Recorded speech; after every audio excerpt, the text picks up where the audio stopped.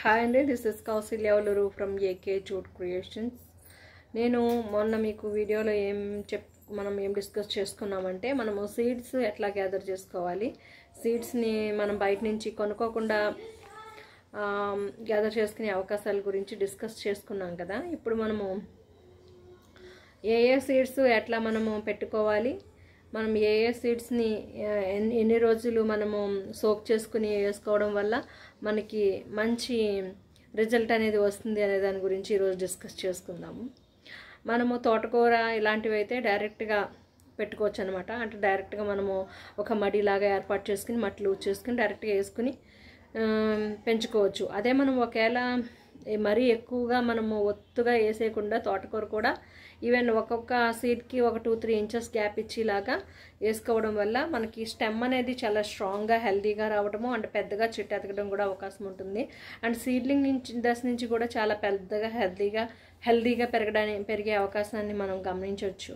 అంటే మనము దగ్గర దగ్గరగా నారులాగా పోసేసుకునే దానికన్నా తోటకూరని కూడా ఈవెన్ గ్యాప్ ఇచ్చుకుంటూ మనం పోసుకోవాలి. ఈ ప్రాసెస్లో మనం గ్యాప్ ఇచ్చే అవకాశాలు కొంచెం సీడ్స్కి తక్కువ అని భావించినప్పుడు ఏదైనా రవ్వలో కానీ బొంబాయి రవ్వలో కానీ లేదంటే ఇసుకలో కానీ మనం వాటిని మిక్స్ చేసుకుని ఈవెన్ జల్లిళ్ళు లాంటి దాంట్లో పోసుకుని వేసుకున్నా కానీ మనకి ఈవెన్ ప్లేస్లలో సెట్ నీట్గా సెపరేట్ అవుతాయి అనమాట మనము చాలా దగ్గరగా వేసుకోవడం వల్ల ఈవెన్ మన కొత్తిమీర కానీ ఇలాంటివి కొత్తిమీర ఇది తోటకూర కూడా మనం కొంచెం దూరం దూరంగా వేసుకోవడం వల్ల ఈచ్ ప్లాంట్ అనేది మనకి నీట్గా హెల్దీగా అండ్ స్ట్రాంగ్గా పెరిగే అవకాశం ఎక్కువగా ఉంటుంది.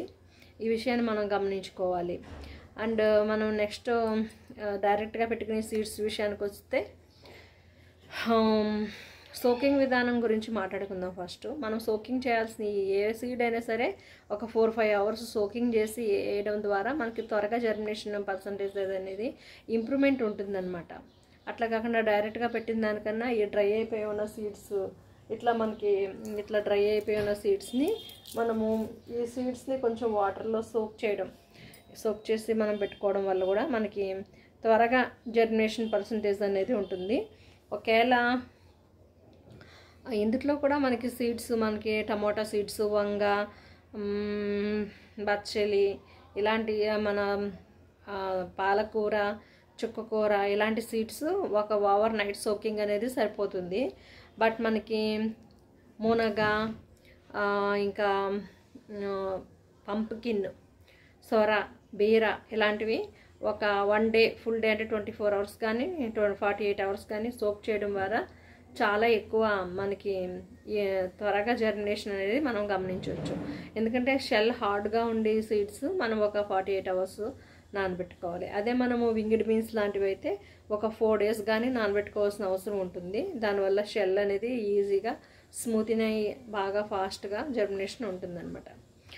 ఈ విషయాలు మనము మైండ్లో పెట్టుకోవాలి. మనకు తెలిసిన విషయాలే గార్డెనర్స్ అందరికీ కానీ దీన్ని మనము కంగారులో హడావిల్లో గమనించుకోకుండా ఫాస్ట్గా చేసేసుకుంటాము. మనకి గార్డెనింగ్ పిచ్చి కాబట్టి ఆ ప్రాసెస్ని మనం మెథడ్ని మైండ్లో పెట్టుకోకుండా వేసుకోవాలి మనం మొక్కలు పెంచుకోవాలన్న హడావుల్లో ఒకసారి నేను కానీ అలా చేసిన సందర్భాలు ఉన్నాయి కాబట్టి నేను దీన్ని చిన్న చిన్న విషయాలు మనకు తెలిసిన విషయాలు మళ్ళీ మళ్ళీ మనం గుర్తు చేసుకోవడం వల్ల మనకి ఒక గ్రిప్ అనేది గార్డెనింగ్లో వస్తుంది అనేసి నేను మీకు తెలిసిన విషయాల్ని మళ్ళీ మళ్ళీ నేను డిస్కస్ చేస్తున్నాను ఇక్కడ. మనం డైరెక్ట్గా మనం నార్పోస్ కాకుండా డైరెక్ట్గా పెట్టుకునే ఏది బెస్ట్ అంటే మనం నారపోసుకోవాల్సిన విషయాల గురించి మాట్లాడుకుందాం ఫస్ట్. మనం నారపోసుకోవాల్సినవి ఏంటంటే మనకి టమోటా వంగ ఇంకా టమోటా వంగ ఇంకా మనం వేసుకుని గోరుచిక్కుడు ఇలాంటివి పెట్టుకోవచ్చు నారు పోసుకుని.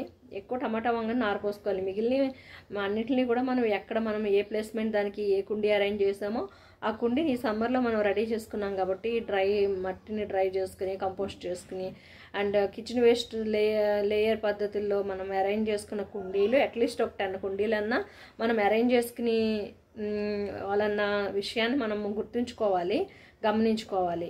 ఒక పది కుండీలైనా సరే సమ్మర్లో మనం వింటర్ సీజన్కి రెడీ చేసుకోవాలి. ఇంకా మనము మట్టి విషయానికి మాట్లాడుకుంటే మట్టిలోను మన దగ్గర ఖాళీగా ఉన్న కుండీలు ఉంటాయన్నమాట. ఖాళీగా ఉన్న కుండీల్లో కూడా మనము వాటర్ పోస్తూ ఉండాలి.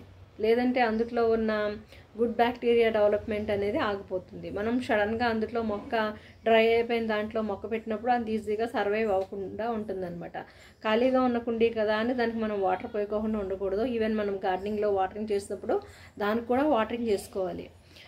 దానివల్ల మన దాంట్లో ఉన్న గుడ్ బ్యాక్టీరియా ఇంప్రూవ్ అవుతుంది. ఈవెన్ మనము దానికి మనకి ఏదన్నా మనం ఫెర్టిలైజర్స్ ఇచ్చినప్పుడు కూడా ఆ ఖాళీగా ఉన్న మట్టికి కూడా మనం మంచి ఫెర్టిలైజర్స్ ఇచ్చినట్లయితే మనం నెక్స్ట్ టైం మనం అందులో పెట్టి మొక్క చాలా హెల్తీగా పెరిగే అవకాశాలు చాలా ఎక్కువగా ఉంటాయి అన్నమాట ఇంకా మనము మన సొర బీర ఈ గోరుచిక్కులు ఈ చిక్కు బీన్స్ ఇలాంటివన్నీ ఏ దానికోసం అరేంజ్ చేసిన కుండీలో డైరెక్ట్గా పెట్టుకోవడం వల్ల అది అక్కడే మనకి జర్మినేషన్ అయ్యి అక్కడే స్ట్రాంగ్గా పెరిగే అవకాశాలు ఎక్కువగా ఉంటాయి.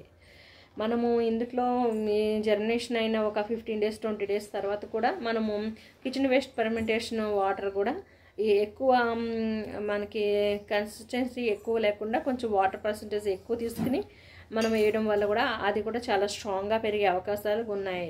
మనం గమనించుకోవాల్సిన విషయం ఇది. ఈవెన్ మనము ఒక సీడ్లింగ్ మనము ఏది ఫెర్టిలైజర్స్ ఇవ్వకూడదు అనేసి అనుకోకూడదు. దానికి కూడా మనం ఎంతో కొంత మజ్జిగ ద్రావణం లాంటివి ఇవ్వడం వల్ల చాలా స్ట్రాంగ్గా మొక్క ఎదిగే అవకాశాన్ని మనం గమనించవచ్చు. ఈ రైనీ సీజన్ రాబోతుంది కాబట్టి మనం ఈ సీడ్స్ వేసే ప్రాసెస్ మటర్ అరేంజ్ చేసుకునే ప్రాసెస్ గురించి మనము గమనించుకోవాలి. మే మనకి రైనీ సీజన్ మిడిల్లో మనకి కొత్త మొక్కలు పెట్టిన దానికన్నా స్టార్టింగ్లో పెట్టుకోవడం వల్ల మనకి మంచి రెయిన్స్ వచ్చేటప్పటికి మంచి మొక్క అనేది రెడీగా ఉంటుంది.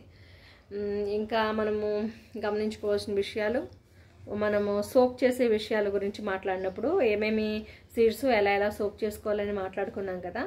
అయితే ఈ సోక్ చేసుకునే విధానంలో నేను పాటించే విధానాలు ఏమిటంటే అక్కడ అవశ్యం. నేను ఇన్నాళ్ళ నుంచి మనం గాజు గ్లాసుల్లోనూ వాటిలోనూ సోక్ చేసేది అనమాట ఇది నేను ఫోర్ డేస్ నుంచి సోక్ చేసిన ఎల్లో కలర్ వాటర్ మిలాను అండ్ um, బటర్నట్ స్క్వాష్ నేను కొన్నాను అనమాట బటర్నట్ స్క్వాష్ ఇలా మనము ప్యాకెట్స్లో సోక్ చేసుకున్నాను అనమాట ఇది టూ డేస్ నుంచి సోక్ అవుతుంది. ఇది మనం ఇప్పుడు పెట్టినట్లయితే మట్లో ఈజీగా మనకి జర్నేషన్ అనేది ఫాస్ట్గా అయిపోతుంది అనమాట అండి. ఇట్లా మనము గాజు మనం గిన్నెల్లోనూ డిస్బాజబుల్ గ్లాసుల్లోనూ సోప్ చేసుకునే దానికన్నా ఇలా ప్యాకెట్స్లో సోప్ చేసుకోవడం వల్ల ఈజీగా మనకి సోప్ చేసుకునే అవకాశం మనకి ఈజీగా ఉంటుంది. ఎక్కడైనా పెట్టినా ఓడిగిపోతాయి వెళ్ళిపోతాయి అని టెన్షన్ లేకుండా ఉంటుందన్నమాట. ఇది ఒక ఒక టిప్గా మీరు తీసుకుని మీరు కూడా యూజ్ చేసుకుంటారు మన గార్డెనింగ్ గార్డెనర్స్ అందరూ అనేసి నేను భావిస్తున్నాను.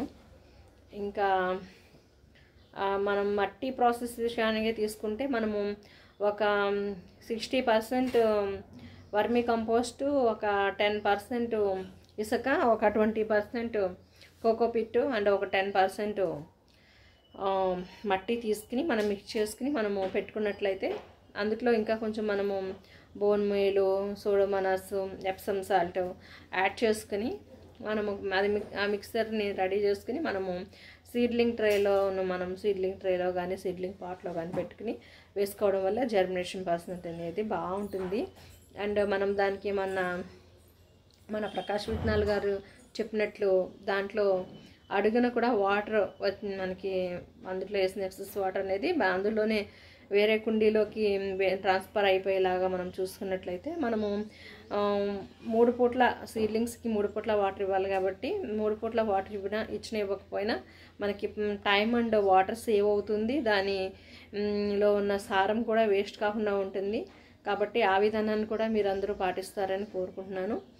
మన గార్డెనింగ్లో మంచి మంచి ఈల్డ్ మనం తీసుకోవాలి. ఎందుకంటే మనం ఎంతో ఇష్టంగా ఇంట్రెస్ట్గా మన ఇంట్రెస్ట్ని ఉపయోగపడేలాగా మనము తీర్చిదిద్దుకోవాలి. పది మందిలో మనము మంచి పేరు తెచ్చుకునేలాగా మన గార్డెనింగ్ వల్ల మనకి ఇంటికి అవసరాలకి సరిపోని కూరగాయలు తీసుకుని ఖర్చును తగ్గించుకుని మన ఇంట్రెస్ట్ని ఆర్థికంగా కూడా మనకి సపోర్ట్ అయ్యేలాగా మనము మనం చేసుకోవాలని నేను గమనిస్తు గమనించుకోవాలి విషయాన్ని అనేసి నేను మన గార్డెనర్స్కి వినిపించుకుంటున్నాను. అదేవిధంగా మన గార్డెనింగ్లో చేసుకునే విధానంలో మనము ఈల్డ్ తీసుకునే విధానాన్ని ఆ ఈల్డ్ తీసుకునే విధానంలో ఆ ఈల్డ్ని మనం కరెక్ట్గా యూజ్ చేసుకునే విధానాన్ని కూడా మనము గుర్తించుకోవాలి. అంటే మనము ఒక బచ్చల చెట్టు వేసుకున్నాం అనుకోండి మనం బాగున్న నాలుగు రోజులు లో మనం ఒక వారం రోజుల్లో ఒక ఫోర్ డేస్ ఫైవ్ డేస్ మనము లీఫీ వెజిటబుల్స్ తీసుకునేలాగా మనం ప్లాన్ చేసుకోవాలి. అంటే పాలకూర చుక్కకూర గోంగూర మనకి తోటకూర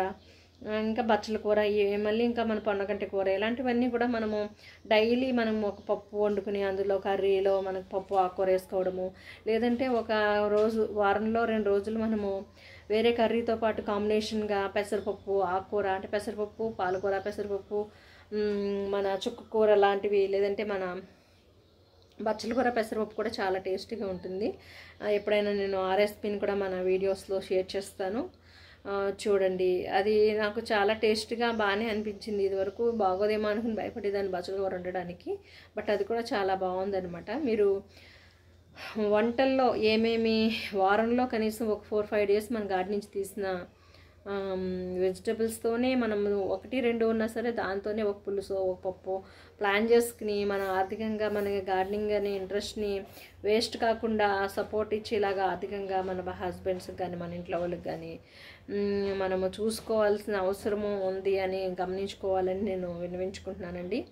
కంపల్సరీ మనం తీసిన ఈల్డ్ నుంచి ఏదో ఒక రోజు అట్లీస్ట్ వారంలో ఒక ఫోర్ డేస్ వన్ డే నుంచి మొదలెట్టి ఫోర్ డేస్ వరకు నెక్స్ట్ వన్ వీక్ అంతా కూడా మన గార్డెనింగ్ నుంచి వచ్చిన ఈల్డ్తోనే మనము మన వంటల్ని ప్రిపేర్ చేసుకుని అవ అవకాశాన్ని పెంచుకొని సంతోషంగా హ్యాపీగా ఆరోగ్యంగా ఉండాలని కోరుకుంటున్నానండి.